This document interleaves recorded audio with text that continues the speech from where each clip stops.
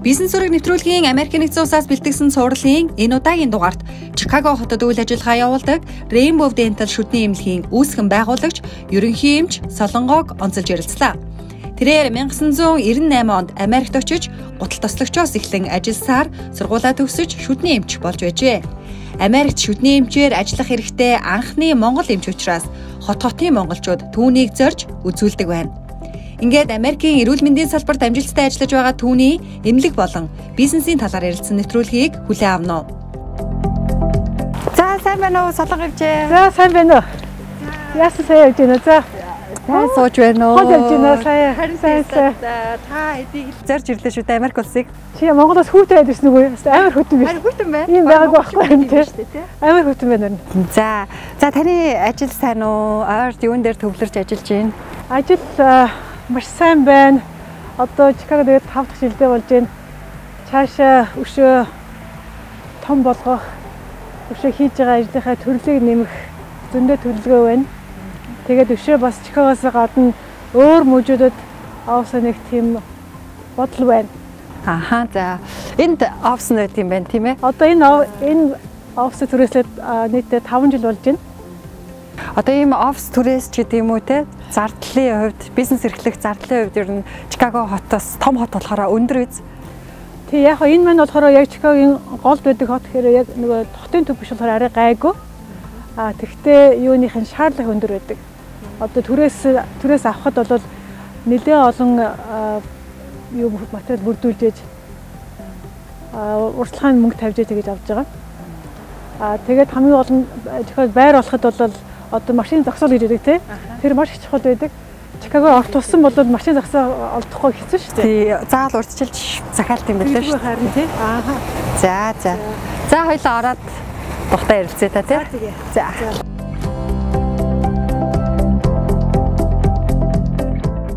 Өнөөдрийн нэвтрүүлгийн зочин хөтлөгчөөр Чикаго хотод барилгын чиглэлээр үйл ажиллагаа явуулдаг E-Pro Construction компани захирал Инх Зул Spine Wellness центрийн захирал Балдан Самбуунаар өргөдөж ярилцлаа. За таны хувьд Монголдо шүдний эмчээр ажиллаж байгаад Америкт ирээд бас үргэлжлүүлээд яг мэрэгчлэрээ ажиллаж байгаа юм байлаа. Бас ийм алс хол хүний нутагт мэрэгчлэрээ ажиллана гэдэг бол бас яг тийм амархан олдох бас боломж бол биш байх. Тэгээд энд анх яаж иржсэн талаар хоёлаа ярилцлага эхлэе. Би 1990 онд Монгол танайхын дээд сургууль төгсчөөд тэгээд хөдөө ажилласан тэр үед яг намын бодлого байлаа л да.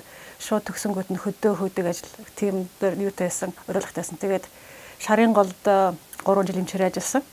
Тэгж байгаа дараа нь замун үдэд 3 жил ажилласан. Улаанбаатарт ажиллах тийм болцоо олдоогүй. Тэр үед дөнгөж 27 8 байсан хөдөө их ажилласан, нэлээ их одоо шүд авсан гэдэг юм да. Тэгээд өөр яг тийм мэрэгжлийн хэмжээнд хүн тусалцахаар юм байхгүй байхгүй. Тэгээ би боддог байсан ер нь би одоо ингээд шүд авахын тулд сургууль сурсан юм болов ер нь цаашаа мэрэгжлэрээ нэлээд сайхан нарийн мэрэгжил эзэмшмээр байна гэж дотроо бодоод тэгээд яг 95 онд болохоор миний өөрийн төрсэн ихч Болгарт эзэм шинжилгээний биотехнологи биотехнологийн чиглэлээр эзэмшлэгийн мэрэгжил эзэмшээд тэгээд Америк нэгдсэн улсад эзэм шинжилгээний ажилтнаар орж ирсэн юм. Тэгээд лекчгийн явгууд нараас нь ихч минь надад туслаарай гэд тэгээ надад Миннесота их сургуулийн англи хэлний 3 сарын дамжаан сурах тийм урилга олж өгöd. Тэгээ би 96-ны 3 сард шууд Миннесота мужид ирж байсан. Одоо төв нь болохоор Миннеаполис гэж байгаа. А ер нь бол мэрэгчлэрээ сурна гэсэн тийм зорилготой ирж байсан. А тэгтээ англи хэлээр ирж байсан. Эхлээд ирэхэд бол нэлээд хэцүү байсан эхний 3 сар нэлээ уйлсан. Ягаад ягаад уйлсан гэхээр нөгөө хамгийн гол нь хэл байхгүй. Тэгээ манай ихч чинь нэрэл ажилдаа явцдаг. Өдөр надад эртэн ганцаар үлдээждэг. Тэгээд кино нэлээ үзсүүлээ. Тэгээд хамгийн гол нь би нөгөө 5 настай охиноо бас гэртээ үлдээшээд ирж байгаа байхгүй.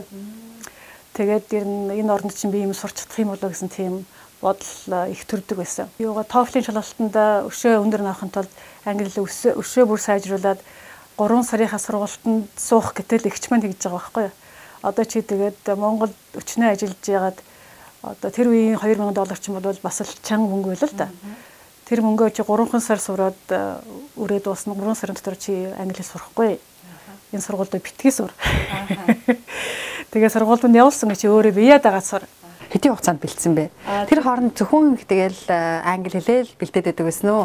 Бас энд ирснийхаа дараа 2 жил мэрэгчлэрээ биш янз бүрийн ажлууд хийсэн байсан. Оо тэгэлгүй яхаа тэгээд ганцхан хэлүүдээс суухгүй л дээ мэдээж тий. Хүн чинь ажил хийх хэрэгтэй. А 15 6 төрлийн хар ажил хийж үзлээ гут тусалдаг ажил олцсон. Тийм тэгээд одоо тэр хэрэгжилж байгаа сандлынхаа бас төрөөс их Тэгээд түрээс нь өдөрт нэг 25 доллар орчим байх жишээтэй. Яг хүн ирэх юм бол мөнгө түрээсээ төлчих чадна. Хүн ирэхгүй бол тэгээд заримдаа хоосон үлддэг. Тэгээд хэдийн хугацаанд хийсэн бэ тэр? А тэр ажлыг бол нийтдээ 2 жил хийсэн. Заримдаа хоосон байх юм бол би өдөр болон очихдаа хичээлээ унших номнууд авчирдаг. Одоо нэг TOEFL өгчөхөд дараагийнхын шүтнийхээ дээд сургуульд орохын тулд 15 хичээл уншижээж шалгалтаа өгжөөд орох хэрэгтэй байхгүй юу? Гэтэ ямар ч байсан л тэгээд юу гэдгийг шалгалтаасаа ч гэдэм үү шантрахгүйгээр шантраад ажил хийгээд тэ хар ажил хийгээд явуулгүй бас ямар ч байсан ажлынхаа хажуугаар хичээлээ судлаад Тэгээд сургуультаа орж чадсан байж хэдийн хугацааны дараа сургуультаа орж чадсан бэ? Тий, тэр чинь бол одоо тэр чинь бол яг нөгөө чиний асуулт чинь зөв байгаа байхгүй нэг энэ. Аа тэгээд 96 онд ирчгээд шалгалтаа 2 жил бэлдээд ажлаа хийж хоорондоо бэлдээд 98 онд сургуульд 98 онд одоо нөгөө сургуульд apply хийгээд тэгээд 2000 он сургуульд орж ирсэн. Тэгээ Монголд бол оныхын дэд би шүтний сургууль сурахтай орос хэл дээр сурч ирсэн. Монгол хэл дээр сураагүй. Тэгээд э, бүх номнууд цуглуулж аваад тэгээд эхний 6 сард бол одоо тэр 15 хичээлийн номыг ийм зузаан зузаан ном баг штэ. Бүгдийг би орсоос англиар орчуулсан. Яг яг сууж орчуулсан. Тэгээд TOEFL би хэдвэд өгсөн гэж 12-д өгсөн. Тэний тийм учраас би одоо боддог байхгүй юмнаас шантаж болдгүй юм байна. Яг л одоо тэр 600 байхслаа. Энд ирээд англи хэл сурч байгаа шүү дээ. Харин тийм байхгүй. Би 30 та иржсэн бас тийм залуу ирж байгааг бас харин тийм. Тэгээд тэрнээсээ хойш бол нэлээд олон ажил хийлээ. Ресторанд тогооч хийлээ, зөөгч хийлээ. Тэгээд над бодогдсон. Би одоо ингээд хэдэн жил ингэж насаараа ингэж ийм хар ажил хийх үү? Олон өдөр бодогдчихсэн. Тэгээ хамгийн гол нь тэгэж бодогдохоос гадна олж байгаа мөнгө маань бол ердөөсөө аваад байрандаа өгдөг амьдралдаа зарцуулаад бас эдээс илүү гарах юм байхгүй заримдаа хөрөхгүй шүү дээ. Тэгэл ердөөсөө номоо барьж яв гэдэг надад бодол эхний 6 сар бол эдээс маш их бодогдсон.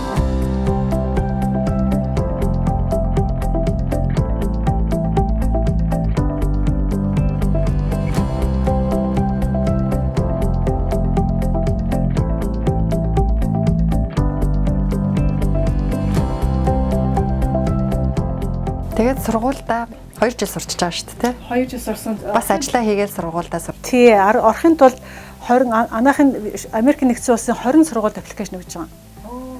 Тэгээ 20 сургуулиас 3 сургуулиас нь хариу ирсэн. Буснаас нь хариу ирээгүй.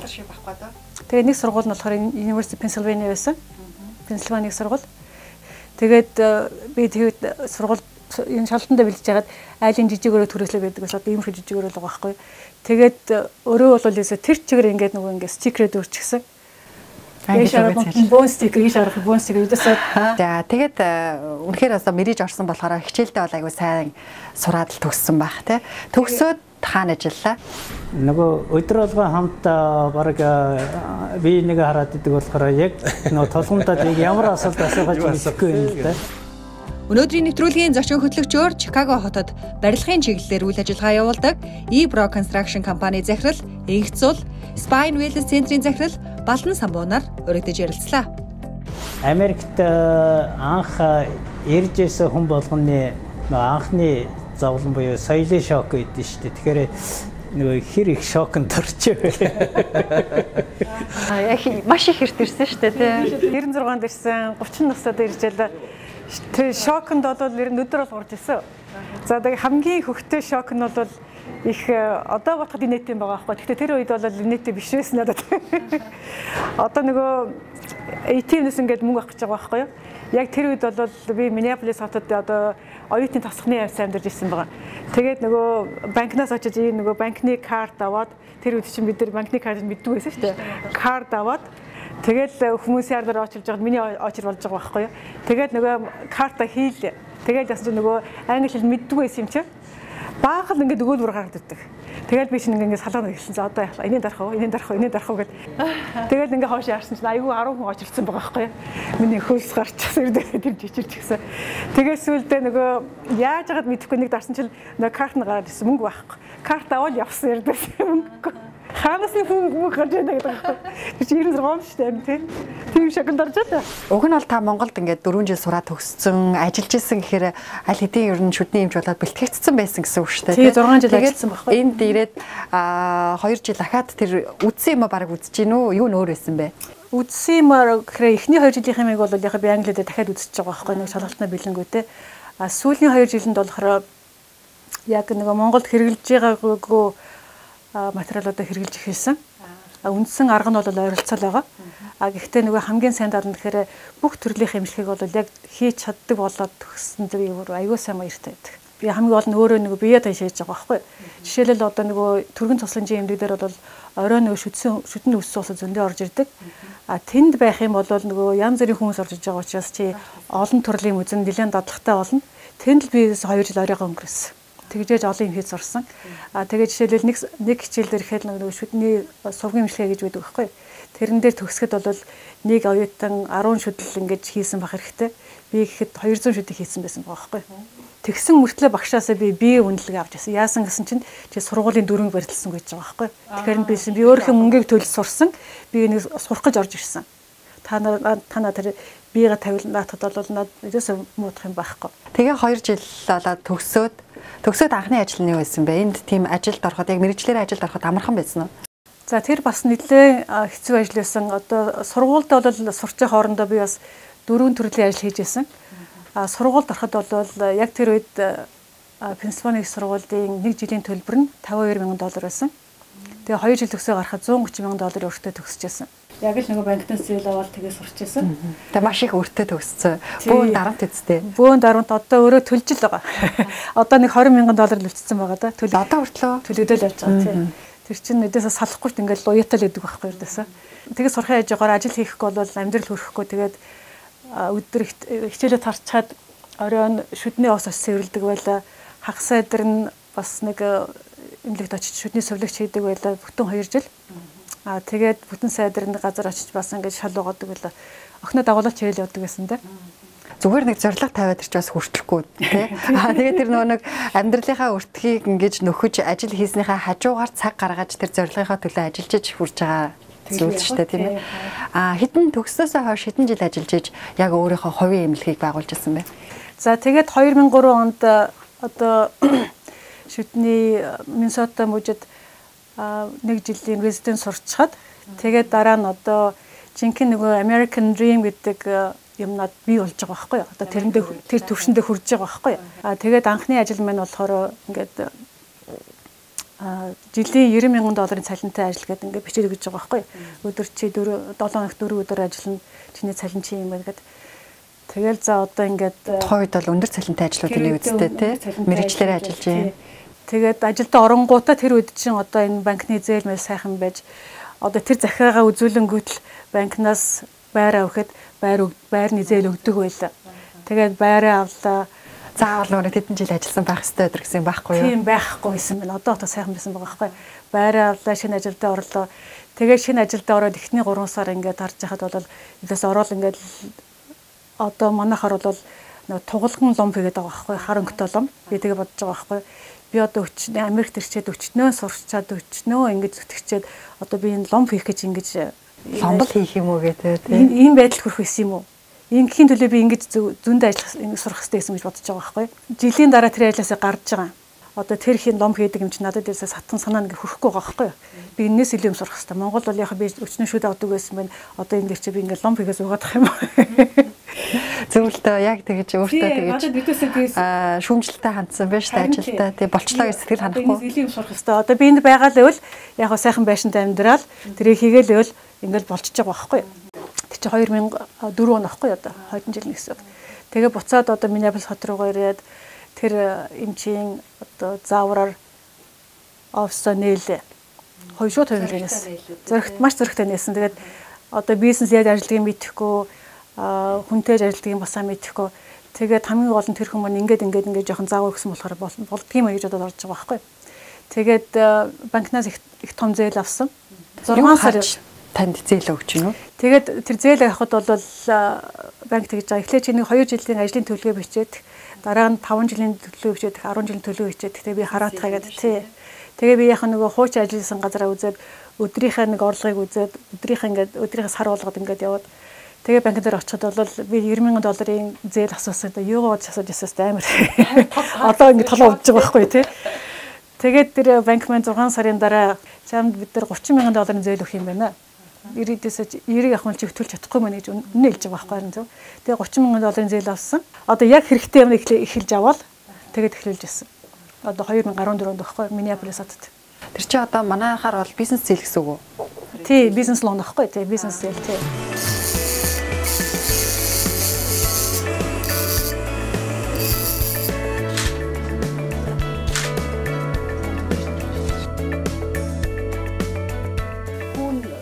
Тэр үед тэр үед хүүн бол 15% байсан.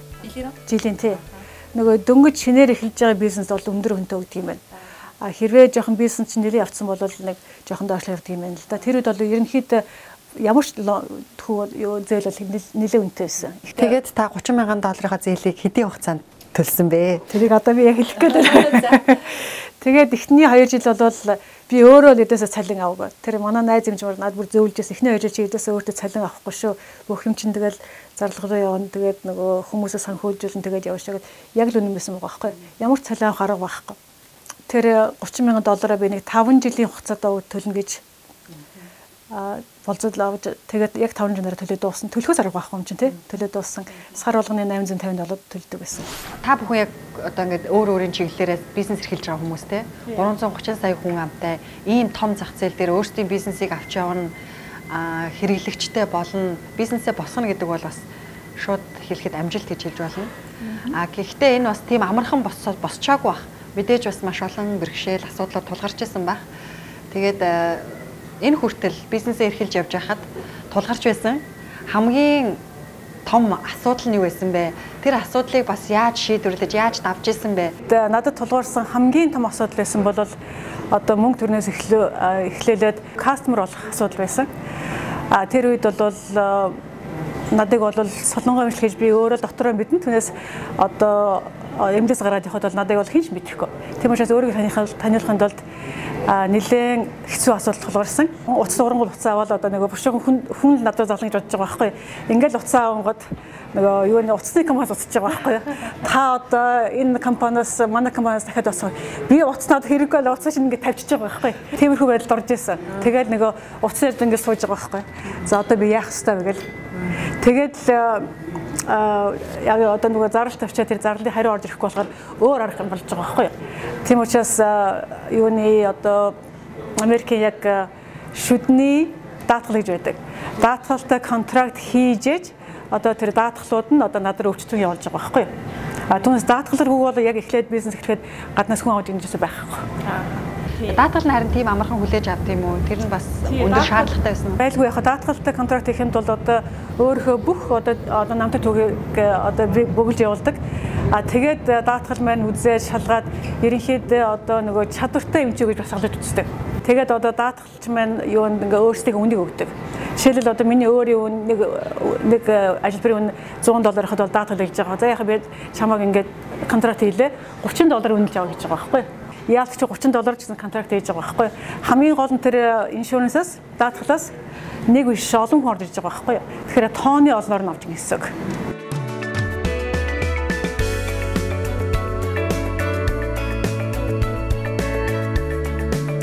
жор үдсэн ламаас зовлон үдсэн чаганц дээр гэдэг шиг хүний яг олон жил ажилласан туршлага, мэдлэг, чадвар, дадал гэдэг юм тэр өвчтөн дээр хамгийн чухал. Тэр хүн нэг ингээд ирээд эхэлчих юм бол тэрний нөгөө ах トゥ найс нөхөд хамаатан садангууд ингээд бүгд ингээд дагуулад ирчдэг учраас нэг эхэлсэн байхад бол тэгэл Америкт бол ингээд нөгөө одоо нэр гэдэг бол брэнд л байхгүй юу жишээ нь. Таны хувьд Балдан самбуу өмч гэдэг брэнд хэдийн хугацаанд яг илүүсчихсэн бэ? Тухайн брэндийг бий болгоно гэдэг чинь эхлээл нөгөө жижиг юмнаас л эхлэх байхгүй. Энгийн юмнаас, жоох юмнаас тий яг чаддаг юм аа чи яг 100% хийгээл чадах юм бол чамд одоо Балдан самбуу гэдэг брэнд чинь бий болчихлоо. Аяндаа өөрөө бий болно гэсэн үг. За шүдний эмнэлчийн үйлчилгээ бол яг ойлгомжтой баг. Магадгүй таны одоо яг эмнэл зүй ангаах ухааны чиглэл нь бас төдийлэн бас ийм тархац тархац сайтай бол бас биш гэж ойлгоо харагдаад л байна л да. Тэгэхээр тэрийгээ бас ингэж ойлгуулах нь анх бас яг шинэ ойлголт байсан уу? Тархац сайтай. Яагаад тэгэхээр аа Америкт хүн болгоно л одоо чинь эрүүл хоолт органик гэхэл бүх юм органик байх хэрэгтэй гэж яриад шин. Гэтэл химийн эмчилгээ ямар химийн бодис юмнаас одоо хүн болгонд атгалзаж эхэлж шин. Жишээ нь хаасайг бол эрүүл хоолт гэж ярьж байна. Энд ч гэсэн ялгаа байхгүй эмийн бус имчилгээ. Тэгэхээр энэ бол нөгөө зах зээл нь байгаа л байгаа байхгүй юу ерөөсөн. А тэр дундаа эмийн бус имчилгээ дундаа те зүү гар эмчил одоо эмчилгээ дундаа таны яг брэнд болсон үйлчилгээ нь юу вэ? Гар цэслүүд. Гар цэслүүд тий. Миний хувьд Азтэй ч юм уу манай хатам одоо шинэ зүүнний эмч байсан. Эмч одоо хийж байгаа. Би тэдний офстаар хамтраад ажиллаж байсан. За таны хувьд бол өөр чиглэлээр бизнес эрхэлдэг хүн байгаа.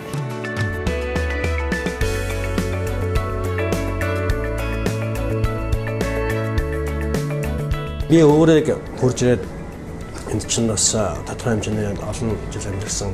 А тэр утгаараа бас өөрийнхөө юугаар харсан өнцгөөсөө явсаар л бизнес босгож байгаа шүү дээ. Яг миний яг өнцгөөс харахад бол ер нь бол ерөнхийд нь нэг нийт хүмүүст бол нэг гурван юм юм шиг байна. Миний өөр бодогддог.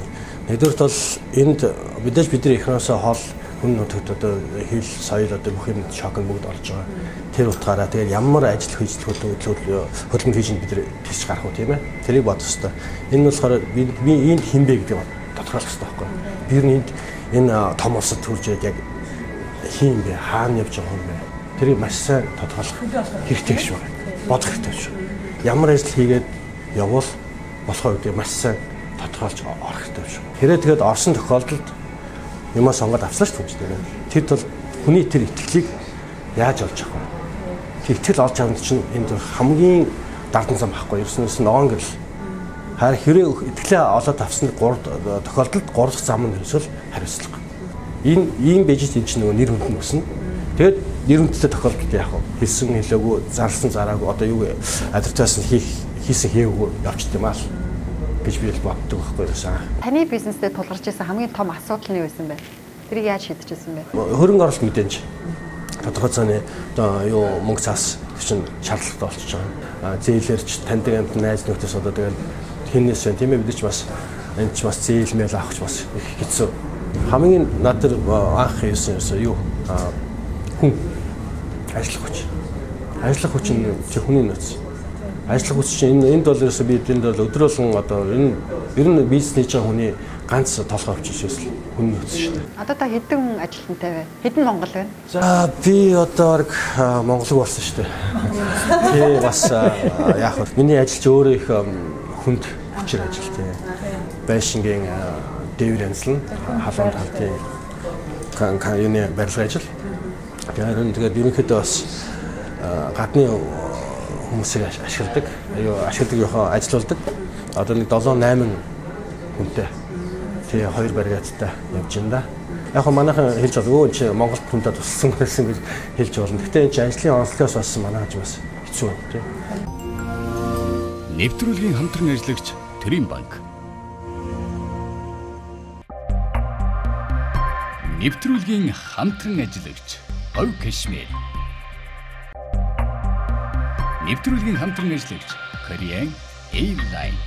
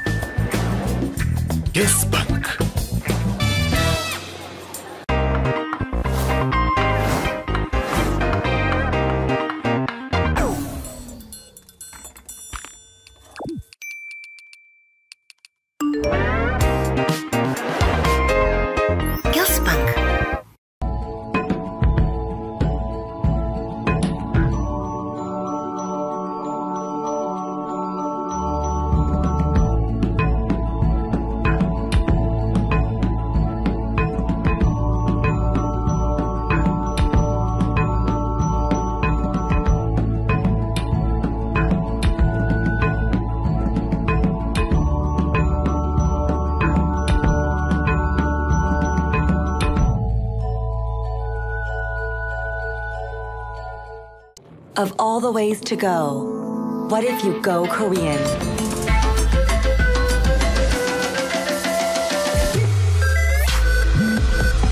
There are many ways to go, but only one way to go Korean.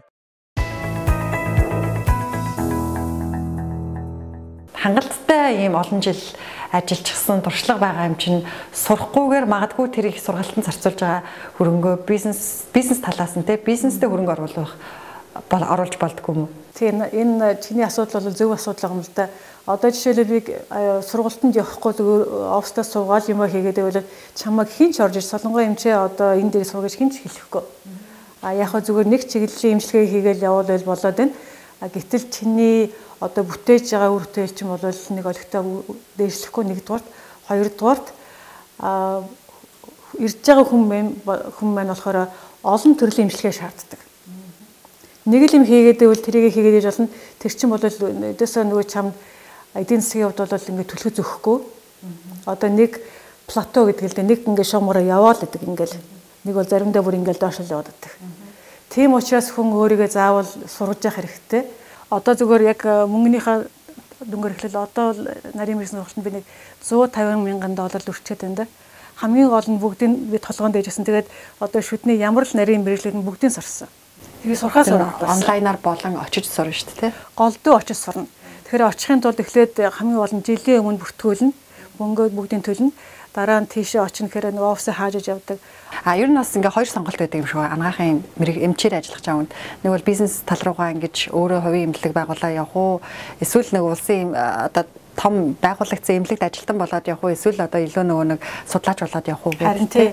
Яг үнэ. Тийм учраас эхлээд би яг ажилд орохдоо 2013 онд одоо том 6 6 эмчтэй том эмнэлэгт орж үзлээ. Том багтаа байж үзлээ. Надад тэр байдлыг таалагдсангүй хамгийн гол нь яг таалагдсан гэхээр одоо яг өвчтөнд хүрэж байгаа тэр имчилгээний чанар их муу надад таалагдсан. Одоо чи тэр эмнэлэгт орохоор бол эрх болгондоо л өөр эмчтэр их юм шүү дээ. Тэгэхээр чин 6 хүний гараар дамжиж байгаа байхгүй юу? А яг нэг эмчтэйж болно л доо. А над тийм санагдсан учраас ерөнхийдөө хувийн эмнэлгээ байгуулад ингээд нэг хүн дээр өөр яг гардна хийгээд хийх юм бол чанар сайжрах юм байна гэдэг надад нэлээд сайн толгойд орж исэн. Тэгээд миний Миннеаполист байхдаа эмнэлэг маань 3 өрөөд нэлээд тийм том хэмжээний 5-6 ажилтнтай эмнэлэг байлаа. Би өөр ачаалын дагаагүй.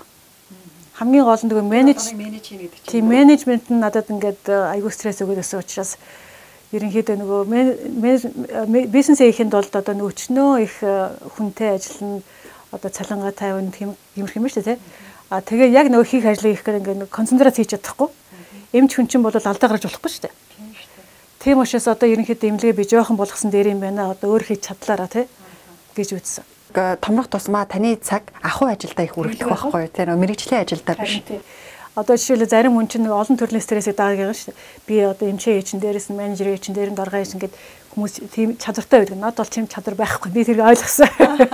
Мэргэжлийн одоо нөө менежерийн сургалтанд сураад ч э, хэцүү санагдсан те? Хэцүү санагдсан тийм. Тэгээд аа Чикагод нүүж ирээд эмнэлгийн араа жижиг хэл. Тэгээд албаар жижиг хэлбэртэй гэсэн яагаад гэвэл ингэж хийх юм бол би хүн төрөж байгаа эмчилгээ маань аюул сайхан чанартай болох юм гэдэг ойлгосон байгаа байхгүй. Тэгээд хамгийн гол нь тийм байдалд яагаад төрснөө гэхээр би 2000 одоо 8 онд одоо нөгөө 4 оноос хойш ингээд 4 жил ажиллаад нэлээд хячаалд ажиллаад тэр үед бас би нэлээд нэг удаа бие муудсан. Бүр бүр хэвтэрд орсон. 10 сар хэвтэрд байж байгаа. Тэгээд яалтчгүй одоо босч ирэх бол болохгүй байсан. Тэгээ босч ирсэн.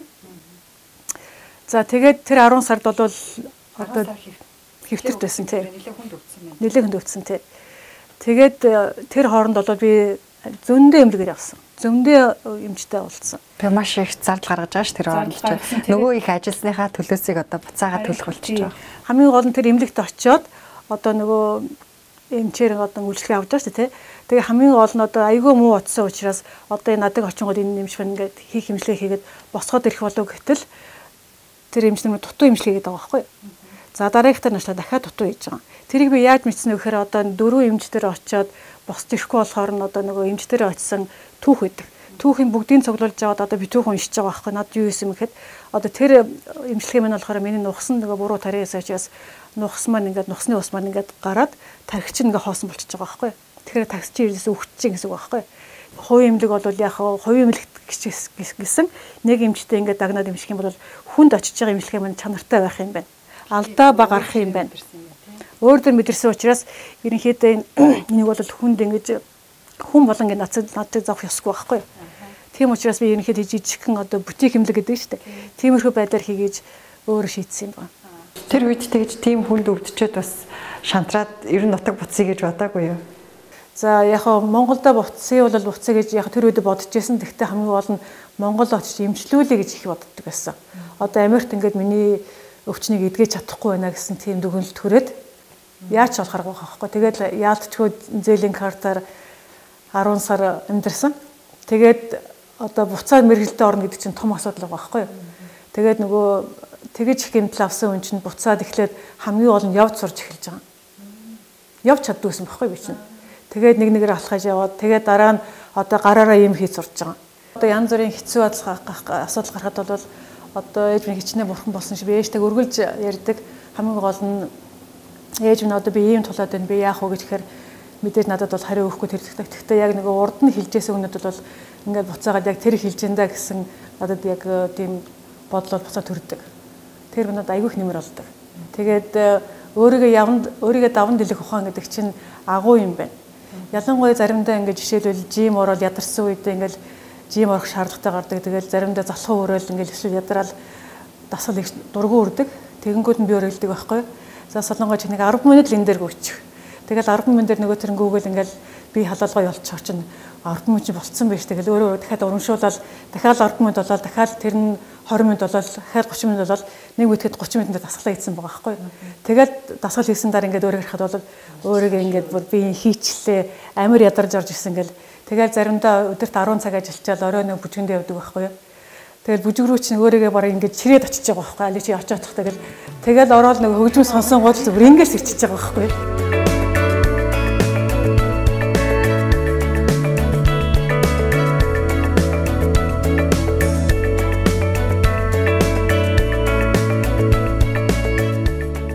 Одоо тэгээд эмнэлэг яг та өөрөө үндсэн эмчээ хийгээд хажуудаа туслахуудтай ажиллаж байна. Тий, одоо бол би яг өөр эмчтэй. Аа тэгээд ерөнхийдөө бол Америкт эмнэлэг хийхэд жижиг эмнэлэгч гэсэн заавал ингээд олон ажилтнтай байх шаардлагагүй. Аа тэгээд энэ Чикагоны онцлог гэхээр нөгөө одоо яг 100% монголчуудаа үзэж байна өөр хүмүүс үзэх одоо цаггүй болчиход байгаа байхгүй. Ер нь энд ингээд одоо ингээд хоёлаа ярилцахад за 8 жил ажил 5 жил ажиллаад зээлээ 30 мянган долларын зээлээ төлсөн байна. Ингээд акцууд гарцсан байна гэж ярьж байна. Тухайн үед ер нь бас нөгөө өөр зах зээл дээр бизнес эхэлж байгаа болохоор юу юу нэг хэцүү санагдчихсан бэ? Татвар одоо эрх зүйн нөхцөл байдал бизнесийн орчин нь юу ямар байсан бэ? А Миннеаполис болохоор ерөнхийдөө Миннесота мужи маань угаасаа өндөр такстай газар. А тэгээд миний орлогын 25-аас 30% нь такс нь төлөгддөг. Одоо штатын юуны улсын даатгал такс гэж байна, штатын даатгал гэж байна. Тэгээд дээр нь тэр тухайн мужийн даатгал гэж байна. Янз янзын жижигхэн жижигхэн 5 6 даатгал байгаа байхгүй. 5-аас 6 хүнд цалин өгч ажиллаж байхад одоо цалин жишээ нь дунджаар хэдэн төгрөгийн цалин өгчээсэн бэ? Аа тэгээд зардлууд нь юу юу байх вэ? Яг ингээ бизнес талаас нь задлж ярил. Сар болго ингээ тооцоо гаргадаг. Жишээлбэл орлого орлогоос хараад одоо 5% нь ч юм уу 5% ч юм уу рентэнд явж гин түрээсэнд явж гин одоо 10% нь лабораторид явж гин 20% нь цалинд явж гин а тэгээд одоо өшөө 10% нь тооног төхөөрөмжид орж иж штэ тийм 14 оны шүдний сөрөгчийн цалин бол тэрэд цагийн 12 доллар байсан. Тэгээд хамгийн гол нь энэ Америкт ядг вөхөр нөгөө хүмүүсийн цалин өгөхдөө дээр нөгөө такс төлдөг. Тэр амар хэцүү юу. Тэр бол маш өндөр гэдэм биш үү? Нэг хүний 25% юм уу? Тий 25% тий. Тэгээ тэрийг бол 2 2 7 хоног болон тэр мөнгө чинь бэлдэн штэ. Харин тий. Тийм учраас яг хөө шүдний эмнэлэг маань бизнес гэсэн, эмнэлэгч гэсэн бизнес байж ээж одоо тэр хүмүүсээ салинжуулж штэ. Тэр хүмүүсийн цаан чинь бас амьдрал байгаа байхгүй. Тэгээд яг ингээ бизнес талаас нь харахаараа тэр 25 нэг хүний цалингийн өхөөс гадна 25% татвар төлдөг. Тэргээд ингээ бодохоор хүнд юм шиг. А боломж нь яг юу гэдэг юм бэ? одоо илүү нөхцөлийн хувьд одоо давуу талууд нь Америкийн зах зээлээ боломж нь гэвэл нэгдүгээрт бол миний өөрийн одоо юу гэдгийг хүнд хүрэж байгаа тусламж маань одоо би энэ хүнд аягүй сайхан эрүүл шүдтэй болголоо тийм ээ. Энэ хүнийг инээдэг инээдэг болголоо. Энэ хүнийг өвчнөөс нь салгалаа гэсэн үднээс би үүнд аягүй тэнд баярлж авдаг. Аа тэгээд тиймэрхүү байдалд хүрэхийн тулд би чинь бас нэлээд ажиллана шүү дээ. За хүн болгоны шүд чинь янз янз байгаа байхгүй. Тэр үзлэг ч гэдэм үү оншилгоо хэдэн төгрөгнөөс эхэлэх вэ? Одоо Чикагод болохоор би үзлэгнээс юу зөвлөгөөг бол үнэгүй хийж байгаа. Аа эрдэнэтгэн зурганд бол мөнгө авч байгаа. Яг гэвэл чинь би технологи ажиллуулж дээ дээрээс нь сувлагч зураг авч байна. Чинь хүний хөдөлмөр авч шүү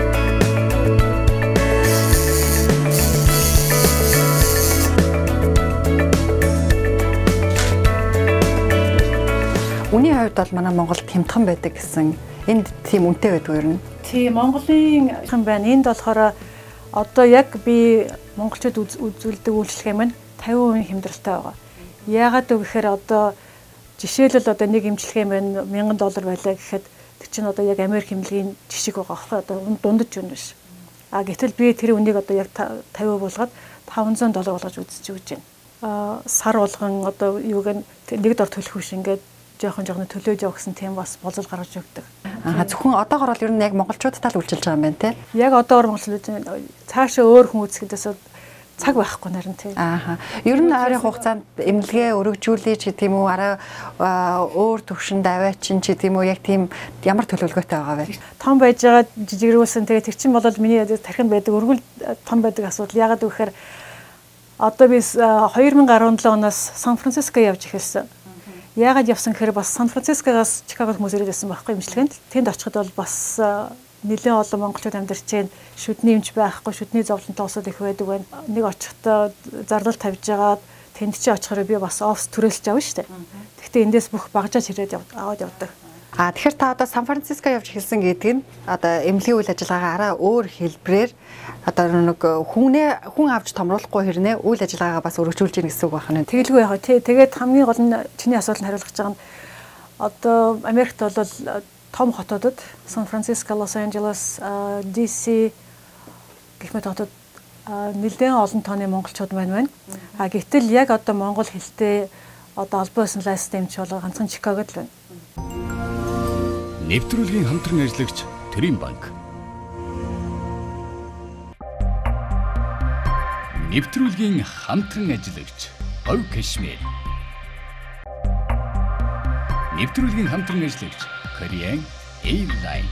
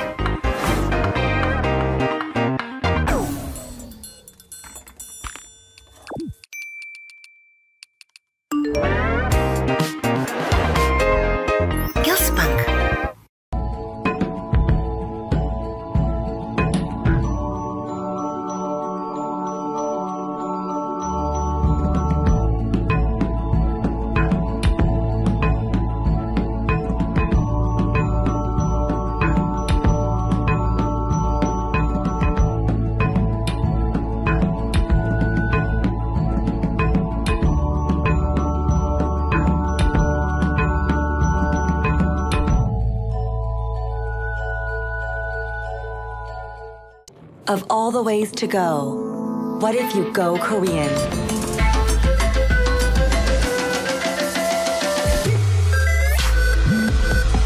There are many ways to go, but only one way to go Korean. Та гурвын хувьд яг ингээд анх бизнесээ эхлүүлэхэд те тодорхой хэмжээний хөрөнгө оруулалт, ур чадвар За ихтгэл үнэмшил ингээд тогтоод бизнесээ эхлүүлж байгаа шүү дээ. Тэгээ тэр ихтгэл тэр боломжийг ашиглаад Монголдо бизнес эрхэлж яагаад болоогүй юм бэ? Яагаад заавал Америкийн зах зээл дээр бизнес эхлүүлэх болсон бэ? Наа чинь бол гоё асуудал нь аа жишээлбэл одоо би Америкт ирэхдээ зоригтой ирсэн учраас сургуульдаа сураад одоо яг Америкийн албан ёсны шүдний эмч гэсэн лиценз аваад тэгээд бизнес эрхлэх эрхээ аваад эндээ одоо амьлгээ нэгсэн төлөвлөгөө байсан учраас эндээ хийсэн. А хэрвээ одоо яванда Монгол явах шаардлага гарах юм бол очиод бас бизнесээ ихэд болохгүй гэсэн нь байхгүй. А яг одоо тэр амьдралын нөхцөл маань энд байж таарсан учраас эндээ л сууршаа тогтсон байна. Магадгүй одоо нэг зах зээлийн орчноос шалтгаалсан уу? Олж байгаа орлого нь 2 3 дахин илүү байхаар шалтгаалсан уу? Юунаас шалтгаалсан гэж үзэх бол. Сургууль төгсөөд би анагаахын сургуульд 10 жил дотор хөвж байгаа онцлогооны багш хийжсэн. Тэгвэл би миний мөрөөдөл гэх юм уу? Би хувийн эмнэлэгтэй болно л гэсэн мөрөөдөлтэй байсан. Аа тэгээд ч миний мөрөөдөл одоо жишээ нь Америкт биелэх тавилантай байсан байлгүй гэхдээ аа бодоод яваад байсан. Тэгтээ нэг өдөр л биелсэн. Бүх нөхцөл нь Америкт бүрдэж таа. Энд л бүрдсэн тий. Одоо яг энэ бизнесээ эхлүүлэхэд ингээд тодорхой хэмжээний хөрөнгө оруулалт за чадах юм байна гэсэн итгэл үнэмшил бүх юм ингээд бүртлээ штэ. Аа тэгэл тас бодож байгаа штэ тухайн үед нэр яг энэ хөрөнгө оруулалт энэ боломжоо ашиглаад Монгол бизнес эхлэхүү энд хийх үү гэж бодож байсан баг. Тэг ягаад энд хийх сонгож байсан бэ? А яг хөө зүгээр энд чинь би бол энэ барилгын бизнес бол яг хөө яг өөрийнхөө нэг одоо нэг ажил тий олдог шүү дээ ямар нэгэн ажил хийгээл тэр замаар байгаа л олцсон амьдралын ихээр тэгээд ямар нэгэн юм чинь энэ бизнес цикл чи өөрөө их ер нь бас том том баг хэмжээнд хам юу хуусаа шаарддаг. Тэгэл энэ юу чинь өөрөө их дадлаг чинь туршлага чинь тэгжиж дараа нь юу явна гэсээр л жоон урт хугацааны асуудал болчихж байгаа байхгүй. Мөнгө хоримтлал үүснэ ингэж явсаар гад. А айдиа Монголд хийх айдиа бол байлгүй байхгүй байж зөндөө шүү дээ. Одоо яг ялангуяа одоо миний дагнсан юугаар одоо л манай найз шилт хэлжлээд сулам очооч тэнд нэг хэдэн дээвэр нь ус чин барилууд нь барьчаад ус нь гоожод болохоо ялаад тэ чи чир очихгүй бол болохгүй гэсэн байд. Энд л боломж байхгүй. Нана боломж нь юу юуны юу проблем тийм ээ дандаа асуудлын цаана боломж явж байдаг. Тэгээ тэр хүмүүс чинь хамгийн гол нь бас чамайг туршлаа гэж харж штэ тий аль хэдийн ажлаад. Тийм тэр хүмүүс чинь нөгөө бас адилхан бизнесмен хүмүүс чинь яг миний нөгөө experience гэж чинь тийм хэрэгтэй байгаа байхгүй юу. Тэгэхээр та яг өөрөө өөртөө чиглэлээр Монголын зах зээлийн орчинг судалж үзсэн үү? За яг энэ өргөжүүлээд ингээ Монголд салбараар нээе гэвэл ямар давуу тал байна? Боломж нь юу байна? А сул тал нь юу байна? Эндэгтэй харьцуулахад. Би сая өнгөрсөн 6 сард Монгол явсан тэгээд зөвхөн хувийн зураг явсан л да. Гэхдээ нөгөө хөдөө шаргуулж явж байхад бол хөдөөний одоо сумуудаар аймгийн төвүүдээр за аймгийн төв чараа гайг баг. Сумуудаар бол ерөнхийдөө одоо миний чиглэлээр шүдний эмчийн мэрэгчлэр бол ер нь бол хоосон байдгийн байна. Болцоо бол маш их байна гэж би ойлгосон. Тэгээд одоо яг тэр шаргалжуудын хувьд бол харж байхад зүүн шаргалжуудын тэр одоо явуулж байгаа тэр дарга нь бол айгүй сайхан тийм хүний нөөцийг ашигладаг хүн байныг би ойлгосон. Ягаад гэвэл тал талаас хүмүүс яг тэр 103 сард шалгалж ажилтдаг юм байна. А тэгээ дээр нь одоо юуны Монголын бүх захаас шалгалжууд хүмүүс ирж амардаг юм байна. Эсвэл одоо нөгөө нэг seasonal гэдэг чинь юу вэ? Яг зуныхаа 3 сарыг ашиглаад тэндээ эмнэлгээ байгуулад тэр хүмүүс эмчлэх юм бол болцоо байна гэж надад айгүй зөндөө харагдсан. Хамгийн гол нь хүмүүс нь өөрсдөө ингээд автобусаар яваад ичиж байгаа байхгүй юу? Тэрэг ингээд одоо маркетинг хийгээд ашаар яхаа юм хийн л дээ зарцуулна л дээ. А тэгтээ бол би ингээд яг тэр нутгийн хүмүүсээс асуухад бол одоо манай суманд шаргалуучин сум байна шүү дээ.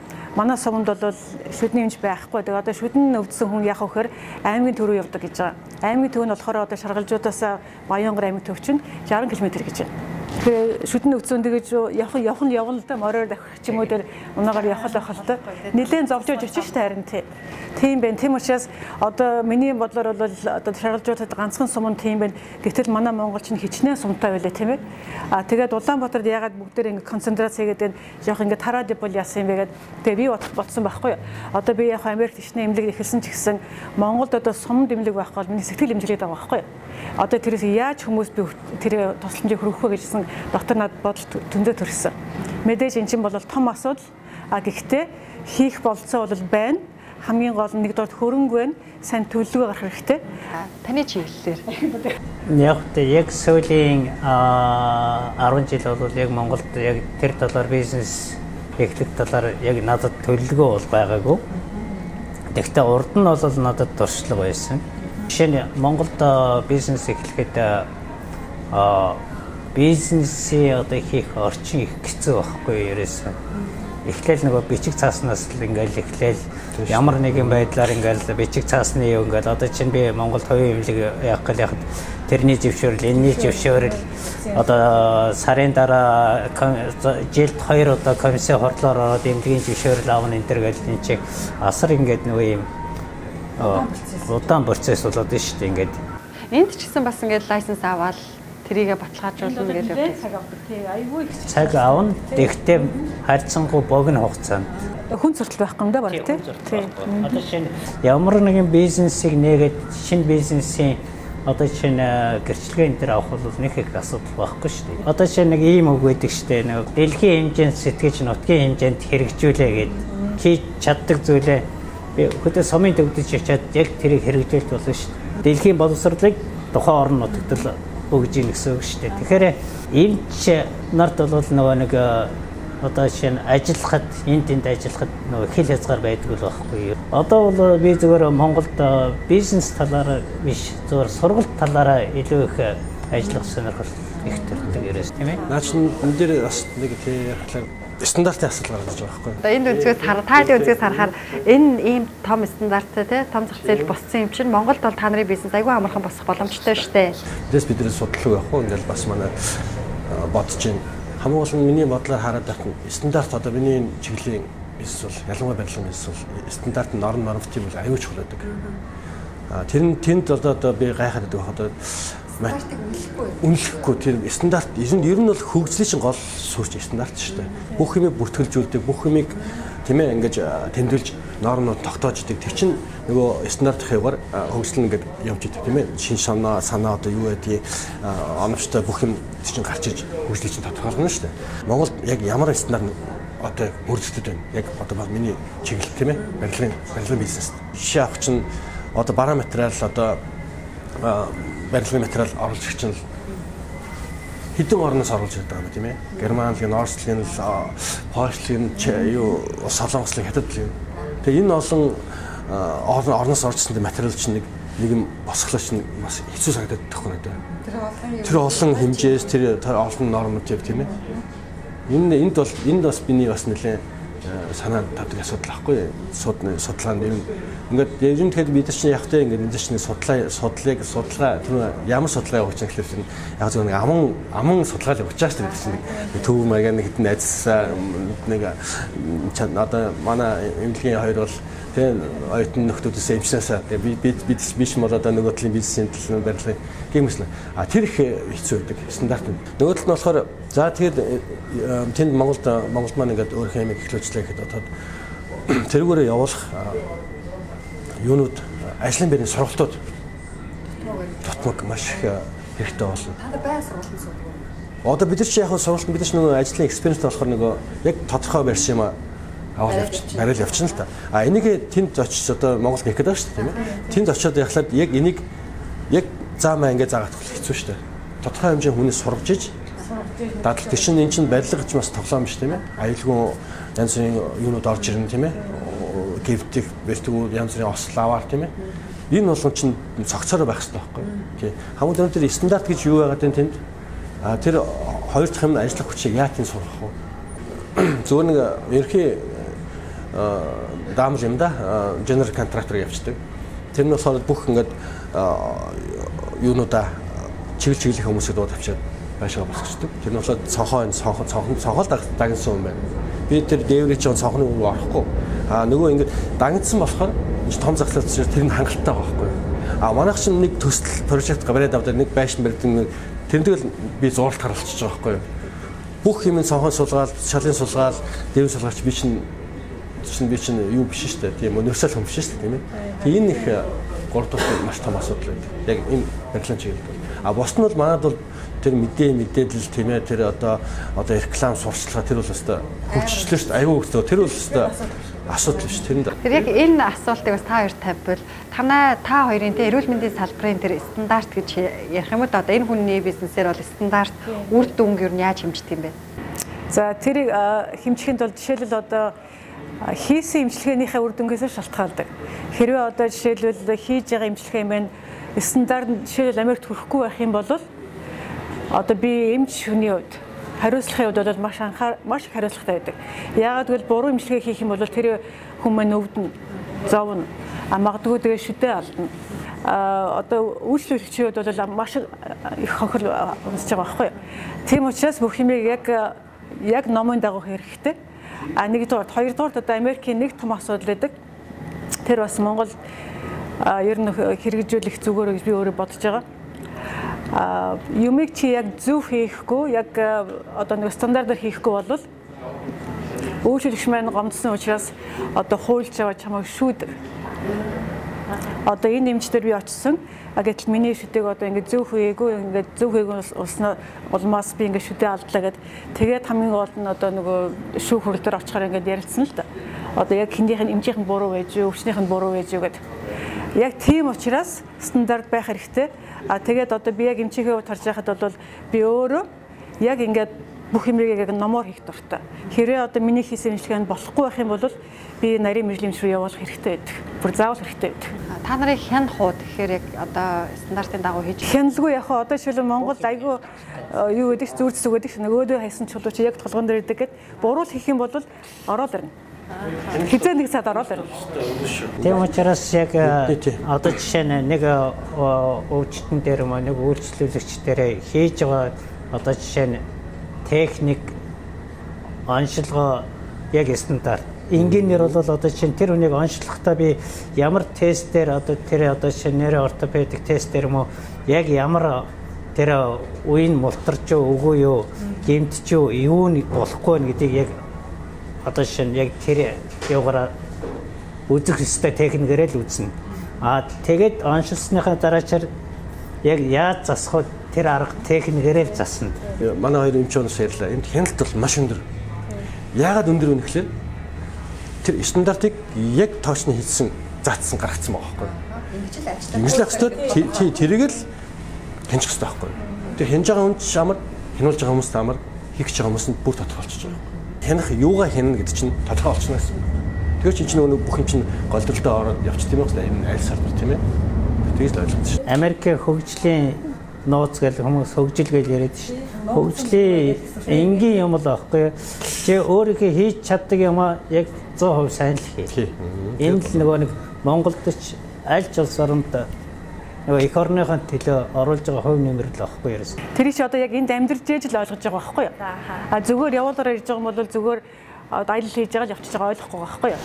Тэгэхээр одоо яг бизнес нь яг тань дээр тогтож байна гэсэн үг байна тий. Одоо бизнес бол яг надаар тогтож байна. Тий. Тэгэхээр магадгүй та ингээл насны хувьд ч гэдэг юм тий хэдэн жилийн дараа ингээ амарья гэж бодвол бизнесээ яаж үргэлжлүүлэе гэж бодож байгаа вэ? Сайн эмч бэлдэж байгаа юу? Өөрийгөө нөхөх. Сайн эмч одоо охин нь уг нь эмчээр сурч ирсэн болцсон байлаа штэ тий. Хүүхдүүд чинь ингээд жоохон байжгаад ээжээ хогонд орж байгаа жоохон томорхоор өгөнд орохоо байд юм. Гэхдээ би бол тэрийг зэвлэхгүй байгаа юм да хамгийн гол нь одоо би өөрөөр явъя би би бол ерөнхийдөө эмч болох хүн биш гэдэг юм итгэм мэдсэн. Харин харин ч сургуульд явсныхаа дараа биш сургууль явахаас өмнө мэдсэн бас зүгээр мөж бодож байгаа. Тэгээд одоо бизнесээ явж байгаа. Одоо охинд бол найдвар байхгүй болсон. Аа. Тэгтээ бол одоо нэг 2 3 хүүхдүүд Америкт ирээд шалгалтаа өгөөд ганц хоёрын сургуулаа төгссөн хүүхдүүд байгаа. Зарим нь одоо орох гэж хүүхдүүд байгаа. Би тэр тэдэрт зөндөө хэлдэг. Одоо ингээд ингээд явал айгүйх боломж байна. Яг мэдээж одоо одоо төгсөж байгаа хүмүүс чинь нөгөө төлбөр нэмдэр болцсон. Одоо нэг хүүхэд гэхэд 400 сая доллар өртөө төгсөж дээ. 4 жил сураад гарахад. Тэр чинь хизээ төлөх үү? Хилээ сурдаг. Тэгээд дээр нь гараад ажиллаа яаж явж явах уу гэд. Тэгээ багаас нь би ингээд жоохон жоохон заагаад өгдөг л дээ. Хэрвээ одоо ингээд хамтраад ажиллая би заагаад таны юм сураад авъя гэх юм би хамаг дуртай зааж өгнө. А тэгээд одоо өнөөдөр бол би одоо 53 хүрч байна. Цаашаа өчнөө зөндөө ажиллана. Америкт бол тэтгэвэр сар насч одоо эмэгтэй хүн чинь 65 орчим болж байгаа шүү дээ. А би бол тэтгэвтэй гарна гэсэн надад тийм бодол байдгүй. Миний гарал ажиллаад толгол ажиллаж явах юм бол би ажиллаа л ингэж бодож байгаа. А тэгээд өөрийгөө бас идэвхтэй залуу байлгахын тулд бүжгээр хичээлт юм байлаа шүү дээ тий. Би одоо бүжгээр хичээллээд нийтдээ 23 жил бүжиг бүжиглж байна. Одоо урт хичээл авж байгаа. Тэгээд жил болгон Чикагогийн ялканд орох гэж бас нэлээд шин шин шин бүжгүүдээ хийдэг. Дээр нь бүжгээ одоо сурчаад бүжгийн хувцсыг өөрөө бас бэлддэг.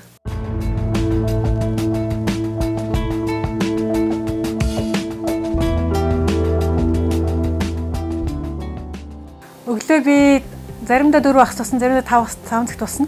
5 тусч хамгийн гол нь жимд явдаг. Орой 9-гийн дунд нь заримдаа 10 дунд нь би бол юм төлөвлөгөөтэй их дуртай. А ялангуяа ажлынхаа төлөвлөгөөг бол заавал бүгдийг бичээд төлөвлөөд тэгээд ингээд хэсэгчилдэг. Өнөөдөр энийг хийн маргааш энийг хийн гэж. Мэргэжлийн сэтгүүлээдэг бол заримдаа цуглуулж байгаа 7 хоногт нэг удаа бүгд нь хараад авдаг. А ягаад гэвэл шин шин материал их орж ирдэг. а юуны саяхан болол нэг Америкийн нэртэй сагсчны ном уншсан. Сагс тоглодог залуу хүчүүд бол их нарийн гой мэдлэг өгөхөр юм байлээ. Бас бизнесийн мэдлэг бас их сайн өгч байна. За сая яг өнгөрсөн 7 хоногт 11 сарын 6-нд Дэнер хотод sleep apnea-гийн талаар нарийн мэрэгчлэр сурлаа. Энэ сургалтанд би 5 жилийн өмнө сурах гадал бэлдээлсэн бэлдээлсэн тэгээд одоо яг бололцоонд хараад орсон. Энэ сурснаар бол ганцхан шүдээр биш ерөнхийдөө ерөнхий эрүүл мэндийн талаар бол нэлээ юм хийх тийм мэдлэгтэй болж явлаа гэж үзэж байгаа. За одоо ингээ харахад бол 23 жилийн өмнө 1996 онд Америкт ирснээр дараагийн шатанд өөрийгөө сайн бэлдээ гэж үздэг. Амралтын өдөөдөр би унтах дуртай, унтжээж их энерги авдаг. Аа тэгээд бүжиглэх дуртай. Surfing гэж байдаг шүү дээ, тий? Далаанд давлгаан ингэж явдаг. Би тэрнийг хичээл авсан. Өөрөө бол сэлж чадахгүй. Гэхдээ сэлж сурчаад surfing хийж зураад. За одоо ойрын хугацаанд бол хичнээн одоо жоохон нас явсан ч гэсэн дахиад би бизнесийн сургуульд сурах хэрэгтэй мэн гэдэг би одоо сайн мэдж байгаа.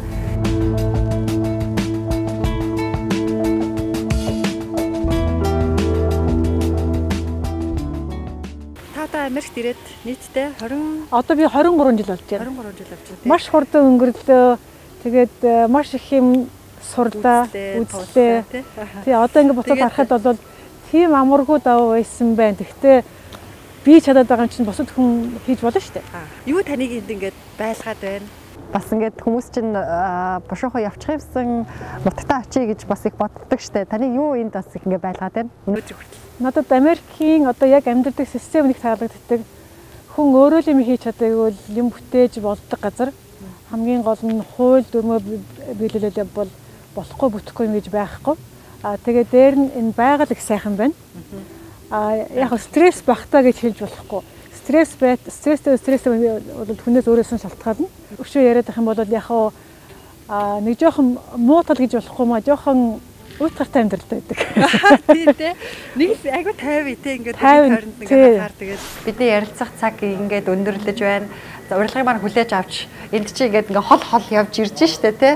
Тэгээд нэвтрүүлэгт маань сонирхолтой яриа өрнүүлсэн та бүхэндээ баярлалаа. Та бүхнийхээ цаашдын ажил, бизнест нь өндөр амжилт хүсье. За баярлалаа. Тэгээд бид нар бас бэлэгтэй ирсэн байгаа. Манай Монголын говь брэнд говь маань Чикаго хотод онлайн дэлгүүр нээж байгаа юм байлээ. Тэгээд ийм 100 100 долларын эрхийн бичиг байгаа. Оо за маш их баярлалаа. Ямар гоё бэлэг вэ? За. За манайхаа 1 2 3